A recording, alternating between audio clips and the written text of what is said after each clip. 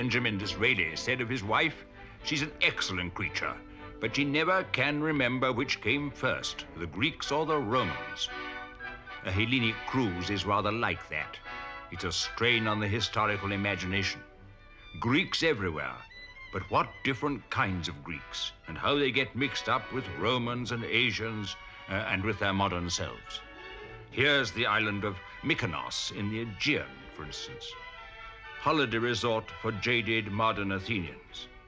Mykonos. Nothing much ever happens there. No ancient temples, no indiscreet Greek gods. It's a living place with its windmills and a tiny Byzantine church for every day of the year. But what the sea and the sun and the whitewash here achieve is good enough.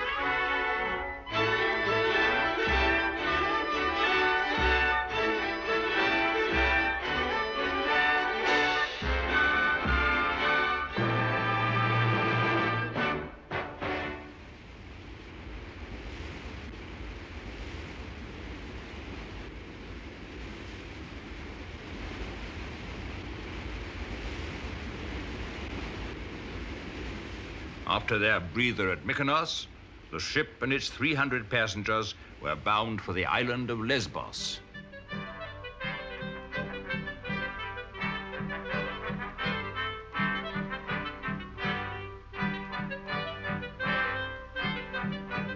The ship did its voyaging by night and disgorged us each morning at another place.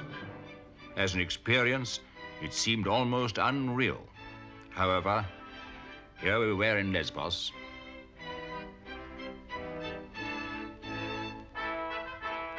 We were within sight of the Turkish mainland, but yet here's an island that has preserved its essential Greek form almost better than any other.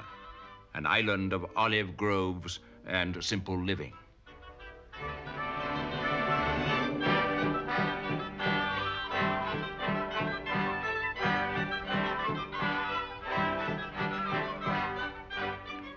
Three thousand years separate Homer uh, from this olive grove, but the plow's the same, and the plowman's namesake fought at Troy.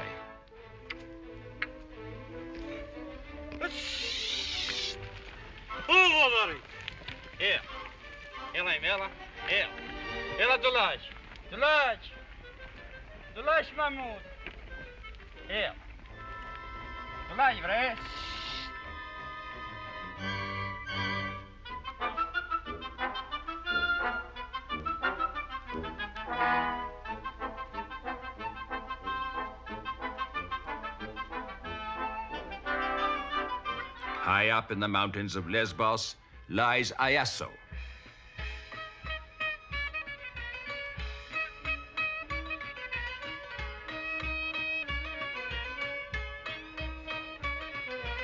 Here, the local ladies most graciously entertained us and their friends with the solemn and simple dances of the countryside.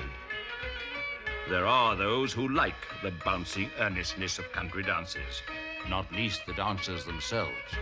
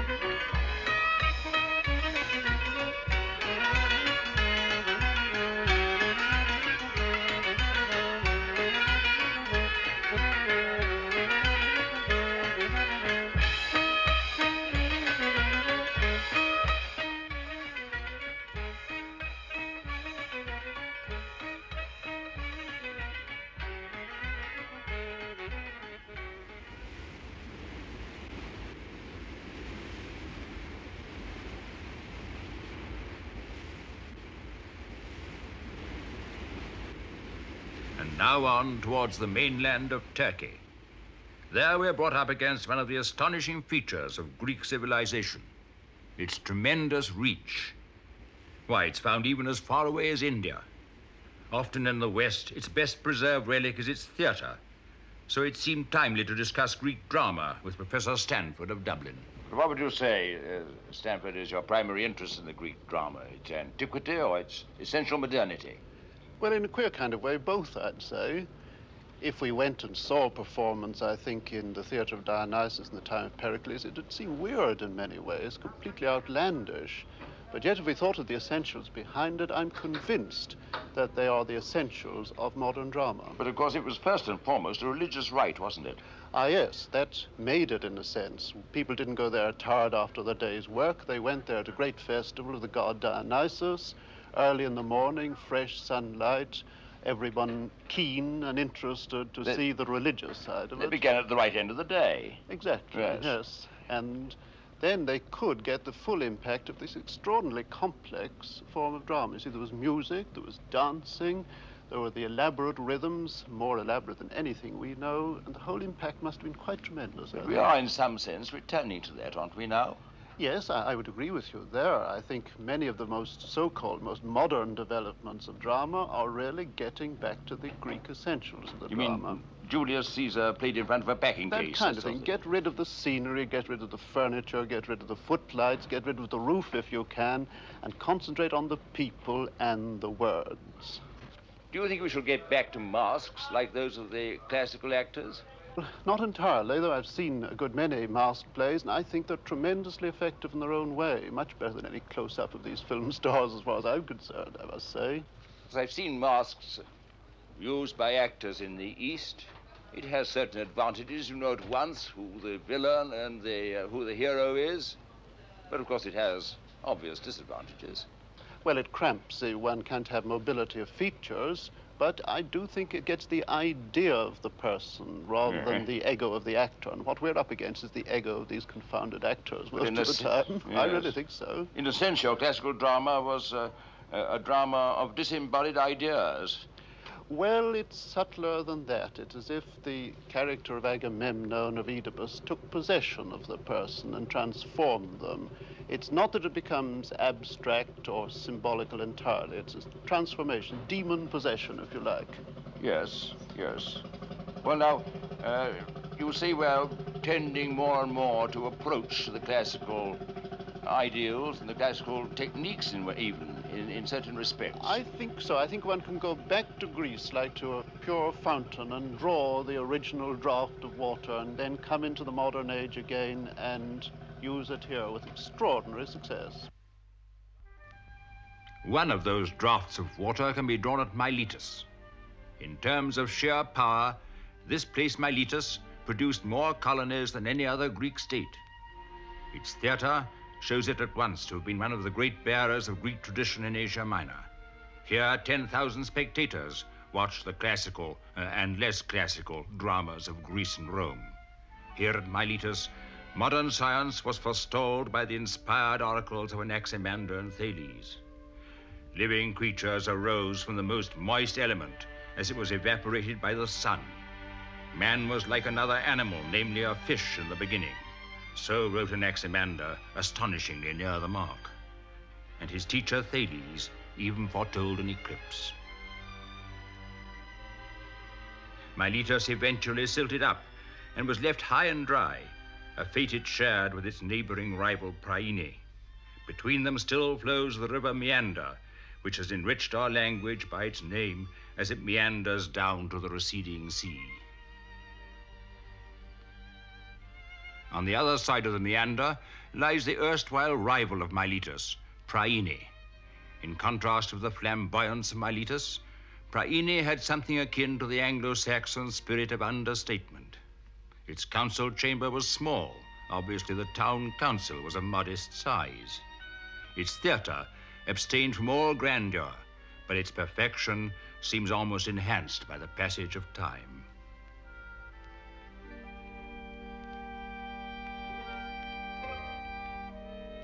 Overgrown though it is, the beginnings of what we now call town planning can still be seen in this austere little town. Certainly, the 340 dwellings that have been excavated display the Greek house at its most characteristic an unostentatious entrance, an inner courtyard, and small rooms around it for living and sleeping. It takes an effort of the imagination to set this carefully perfected civilization amongst the rugged fantasy of the Turkish landscape, to look at present day life, and then to think back 2,500 years.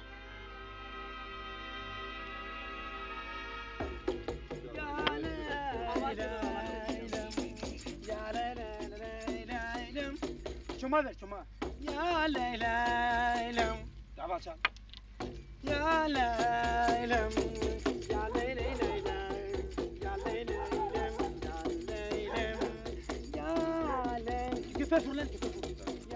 North of Priene, on the way to Istanbul, we called it Pergamon. Down in the valley lies one of those splendid testimonies to the almost Edwardian extravagance of the Roman Empire. The spa erected in honor of the healing god Aesculapius. Here I met uh, Professor Boehringer of Berlin, the present excavator of the site, and with him drank the radioactive water of the place. These Romans had it all, down to medicinal waters and mud baths. When the disreputable Emperor Caracalla got too bored with Rome, he came here to recuperate.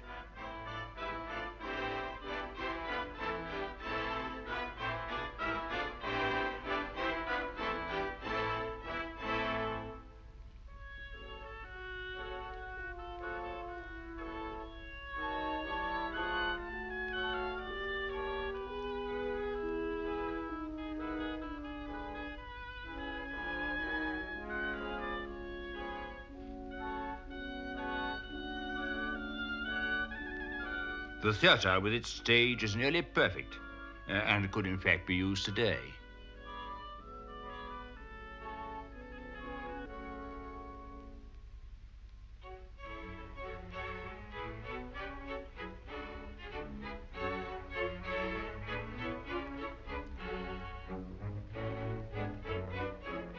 A subterranean passage led to the pump room to protect those in search of better health from the rigors of fresh air.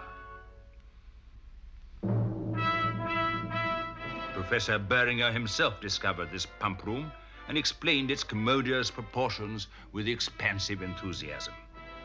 The Romans certainly did nothing by halves. They administered to the needs of the body with unfaltering devotion, and they knew how to keep a large place warm better than we know in Britain 2,000 years later.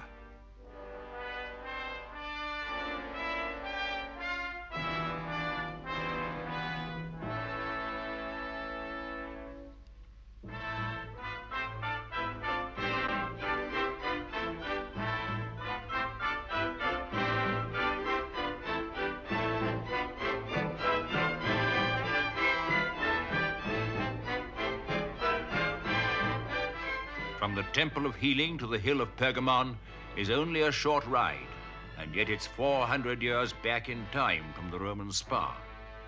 This was the capital of a sturdy kingdom which held the barbarians at bay, whether from the interior of Asia Minor or from across the sea in Europe.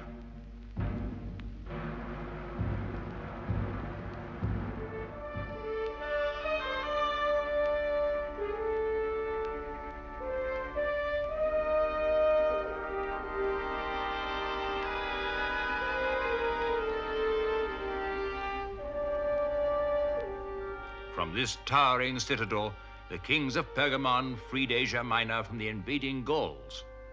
Upon it, they erected an altar over the ashes of their victims.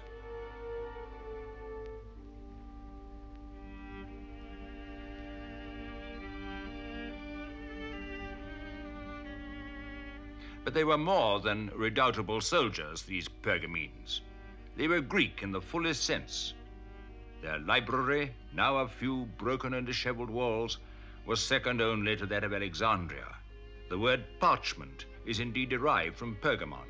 Out of the steep hillside, they hacked one of the most impressive theaters of classical times.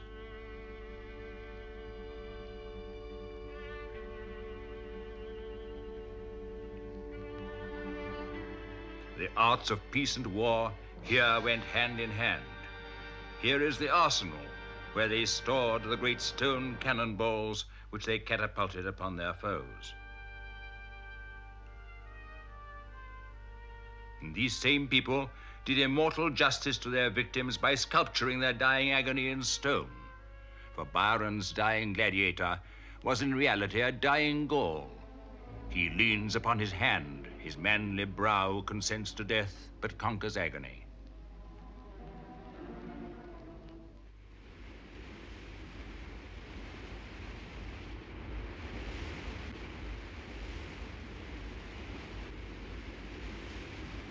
Twenty-four hours later, we arrived at that symbolic bridge between Europe and Asia, Istanbul, the ancient Constantinople.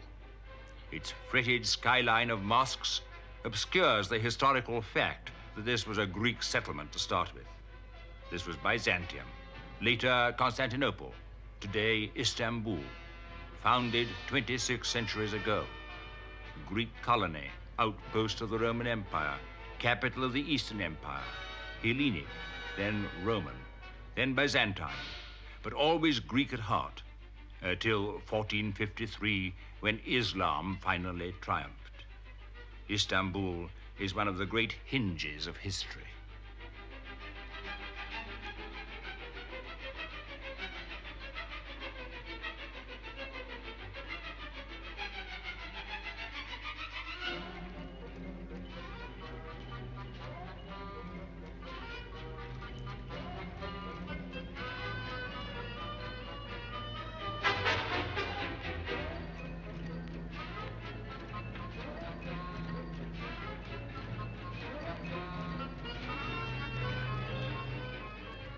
Constantinople lasted for more than a thousand years. His heart was broken not by the Turks, who are commonly accused of the crime, but by the rascally Venetian crusaders, who, in the name of Christianity, plundered the city 250 years before the Turk. We saw some of their loot in Venice at the beginning of the cruise. In many ways, the Turks picked up the artistic traditions of Constantinople where the Greeks had dropped them and incidentally practice a tolerance that deserves our gratitude.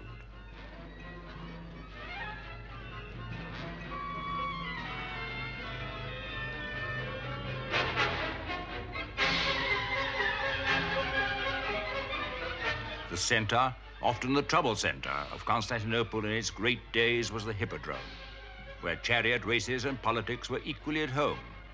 Some of its monuments stand like petrified ghosts in the modern square, an obelisk from ancient Egypt, brought here by the Romans and set up on a carved pedestal showing the emperor and his court.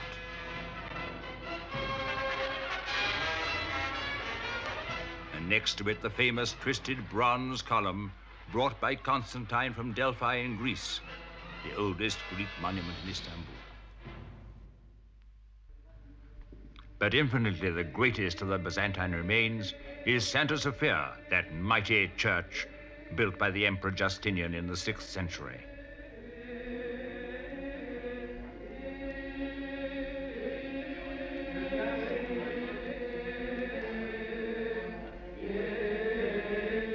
In the mechanics of architecture, this is one of the outstanding buildings of the world. Indeed, the whole span of Greek architecture is contained between Santa Sophia at one end and the Parthenon of Athens at the other, a thousand years. Athens marks the highest attainment of purely static and restful architecture.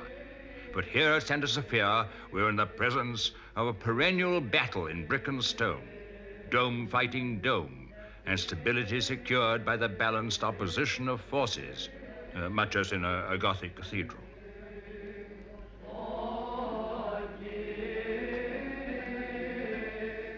In this great church, the last of the Byzantine emperors, the 12th Constantine, received the Eucharist for the last time on the 28th of April, 1453. The following morning, the besieging Turks at last breached the splendid walls of the city. And as the Turkish Cicerone has it, with the war cries from a thousand breasts mingled the death rattle of the countless wounded. The emperor himself died sword in hand. 10,000 refugees packed into Santa Sophia, where a few hours previously the priests, it is said, had been furiously debating the sex of angels. The Turks broke in, and there was such slaughter that when Mohammed the Conqueror rode into the church, his horse-trod bodies piled ten feet deep. High up on one of the pillars is proof in the shape of a human hand. It is the imprint of the hand of the conqueror who struck the pillar and bade all bloodshed cease.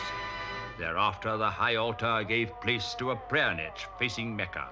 The greatest church in Christendom had become a mosque.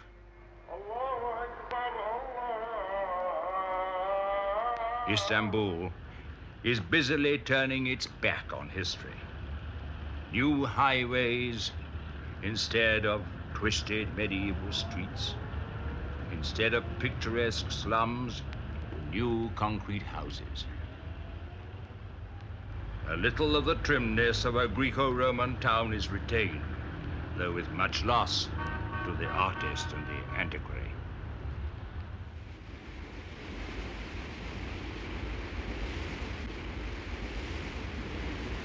When the ship was sailing west again, I discussed the significance of Constantinople with a Byzantine scholar, Michael Maclagan, Fellow of Trinity College, Oxford. Well, Maclagan, goodbye to the domes and minarets of Constantinople. Ah, that's good. Thank you. Goodbye, alas, but I never leave the place like wanting to come back again. You know how it changes. Every time I go there, it looks different. Well, it changes, but the great thing's always the same. There are the land walls, and there is the dome of Santa Sophia. Yes, but you know, poor old Constantinople. It's always being shattered by somebody. The Christians, the Turks, and now the bulldozers. And shabby, too, by the move of the capital to Ankara.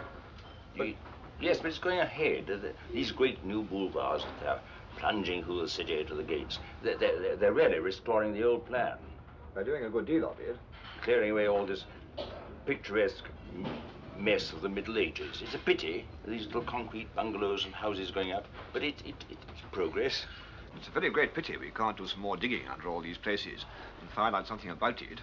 Because, in fact, I think we always forget how much Europe does owe to Constantinople. Mm-hmm. I would be prepared to go as far as to say that we should not be, there would not be, a Western Christian civilization if Constantinople hadn't held out the Saracens in 717. But just a point there, we, we always think, or inclined to think, of Constantinople as a bulwark of European civilization against Asia. Uh, as though we had to avoid Asia rather like a bad smell. But isn't there another point, too, that uh, it was really the channel between Asia and Europe? Oh, indeed it was. It was Yeah. the meeting place of East and West. Its civilization was undoubtedly an amalgam, partly of things that came back from Rome and partly of things that came in new from the East. I wonder how much of Constantinople was really due to the Greek genius, and how much it owes to, to Asia. Well, I think one could say the foundation was Greek.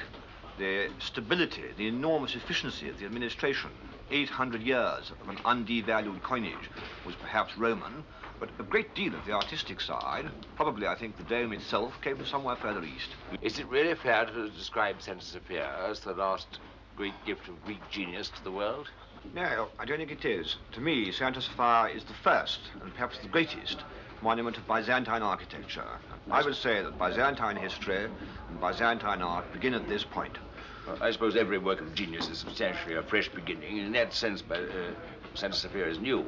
Oh, it's not only new, but the staggering thing is that Byzantine architecture begins, as you might say, with this terrific bang. Uh, it starts off with its finest and full-blown work, springing suddenly, like Minerva, fully fledged out of the head of Jove. Another point, Maclagan. Naturally, on a Hellenic cruise, we tend to think in terms of Greece. But what of the Turkish contribution? Well, I don't think we can say that Europe has much debt to Turkey, but if we look at this skyline, which is now fading away from us in the background there, you will see the beauty of the skyline of Istanbul, as we call it now, is mainly due to the Turks. Uh, apart from the great dome of Santa Sophia, this ravishing selection of minarets in different sizes and patterns is all Ottoman art. They're based upon the Greek. So ultimately, we come back to the Greeks after all. Well, I think we do, because the, the highest Turkish architecture, the work perhaps particularly of Sinan, the rather underrated but noble architect, uh, is indeed probably a good deal derived from Greek models, although the Turks don't care so much to think so. But his predecessor, working for the first, for the conqueror, the Turkish conqueror, was after all a Greek. That links the two. That links the two. Some more coffee, waiter. Greek, Roman, uh, Byzantine, Turkish, each dominion in turn has left its traces along the coast of Asia Minor. And now on our way towards the center of the Greek world, we were bound for Rhodes, a mixture of them all. Rhodes was once a commercial rival to Athens. That monstrous bronze statue, the Colossus of Rhodes, one of the seven wonders of the world, towered by the harbor 105 feet high until it crashed in an earthquake and was ultimately loaded onto 900 camels. When at the end of the 13th century the crusading order, the Knights of St. John of Jerusalem, were thrown out of the Holy Land, they captured Rhodes and held it against all comers for 200 years. Here, as later in Malta, the knights carved their armorial bearings, built their mansions, and held on to this lonely outpost of Western Christianity.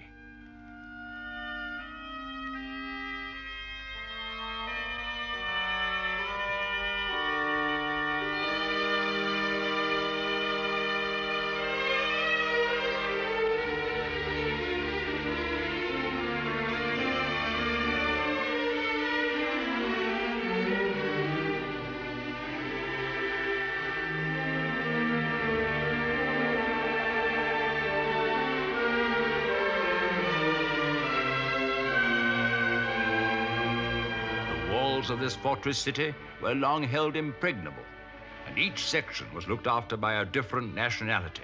This was the English section of the wall.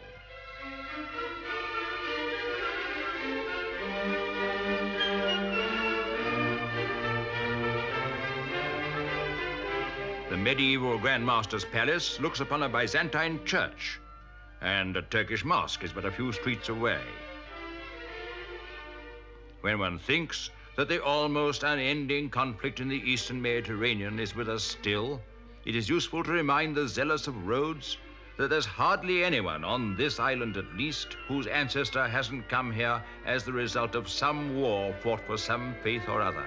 Yet today there is harmony here and the leisured peace of a Mediterranean backwater. A Hellenic cruise in these waters is a history lesson for us to remember and to ponder, but for those who live here, forget if they can.